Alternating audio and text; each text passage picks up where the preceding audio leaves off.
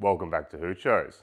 Today on Hoochos, we'll be unboxing and reviewing this. This is the Ender 3 Max Neo, a 3D printer that comes standard with carborundum large glass build plate, dual Z-axis motors, filament runout sensor, as well as an all metal filament feeder, 4.3 inch LCD display, and an extremely quiet running condition.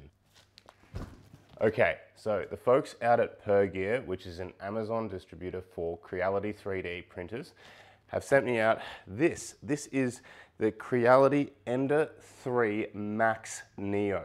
So essentially it's the Ender 3 Max, which has been maxed out with all of the optional extras, all of the additions that you can add on to your 3D printers from Ender. As you can see, I've got four of the Ender 3 Pros, which have all been maxed out with all of the filament sensors, the bed leveling, and all the rest. But this comes with everything that you need rather than having to purchase it all separately and risking that all of the parts aren't for the appropriate printer, which I've had happen many times. So let's get to unboxing. So in the box, we've got a manual.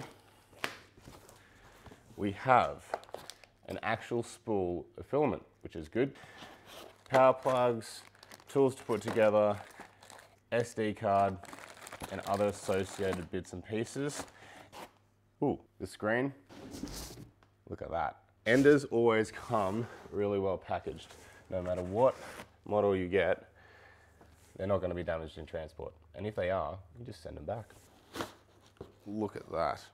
This isn't gonna take as much assembly as I thought. This is basically pre-assembled. The Ender 3 Pros come like almost not assembled at all.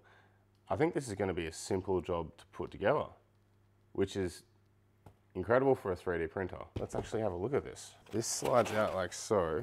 That's gonna come out in one piece. Oh, this is easy. Look, it just slides together. How good is that? No assembly required. Oh, that's pretty cool. Okay, so I'm gonna put up on the screen a time lapse of the process you have to go through to put the Ender 3 Pro together, and it is not a walk in the park. That is almost entirely assembled out of the box.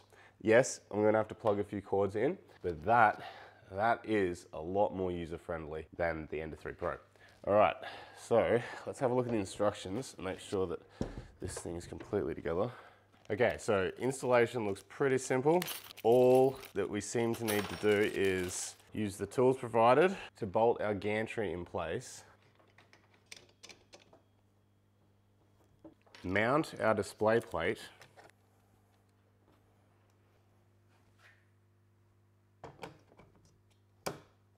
Mount our spool holder. Plug in our Z-axes. One, two, and our control display. And that's it. I had that set up in less than five minutes, which is incredible. All right, now for the best part.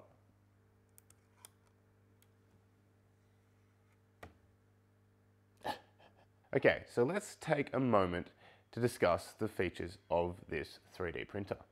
This is the Ender 3 Max Neo.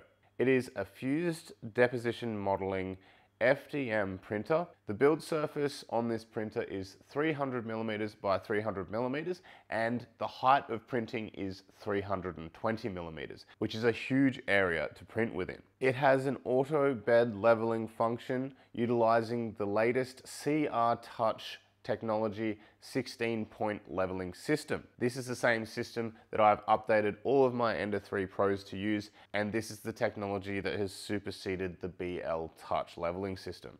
The printer supports a dual Z-axis stepper motor for precision control of the gantry, which gives a more consistent print quality, reducing lines and ridges in the end print. It comes standard with a filament end sensor to detect breakage and the end of a roll of filament so that the print will stop and then resume once you have reloaded the filament, which saves a lot of money on filament in the long run. It also has a power loss recovery feature built into the operating system as well. Coming from the filament end sensor, we have an all metal Bowden extruder. This gives a lot more consistent feeding of the FDM material and keeps tension on that material as it's being fed into the printer. Unlike most standard printers, the build surface on this printer is a carborundum glass. It has a silent motherboard which powers the printer and the printer is controlled by a 4.3 inch color display, which is subsequently controlled by the knob on the front of the display. Okay, so let's turn it on. We'll print our first object and this object is going to be used very soon in an upcoming Hoochos. And I'm really interested to see the quality of the print that this can produce. Plug her in.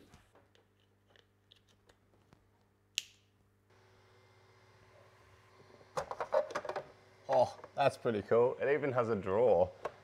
I need a drawer. I need this on all my printers. So the profile for this printer is actually available on Prusa Slicer. I couldn't find a Cura Slicer profile, so I'll just be using the Prusa Slicer for this printer. However, you can edit the G-code in Cura so that it adds all of the features that this includes to the Ender 3 profile. So you would just widen the bed and add in your bed leveling and your run out sensor. So I'm just gonna put in our SD card that contains the model that I've sliced and we'll run our first print. Okay, so before we start our print, we're actually going to have to adjust our Z offset so the printer knows where on the Z-axis to start printing. So I'll leave a link in the description of how to troubleshoot and how to do that so that you can get this printer up and running out of the box.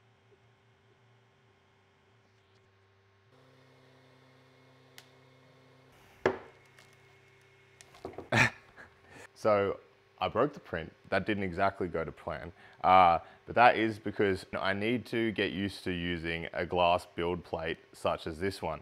Uh, the PETG and just the sheer surface area of the print that I'm printing um, requires some kind of releasing agent because that is a really, really adhesive build plate. And I'm gonna have to get used to it after using these magnetic build plates that peel away. So because I made such a mess of that last model, I wanted to do a little benchy just to test the performance of the printer and to show what it's capable of when you're using it properly. And here is the result. And that is, that is a lovely benchy. It's that adhesion, hey, I really, I really need to fix that. oh, wow. And there it is. Not a bad benchy at all. So as usual, not everything went to plan, but this is a really nice offering from Creality and I hope you enjoyed this episode of Hoochos. Happy hydroponicking, happy 3D printing, and I'll see you next time on Hoochos.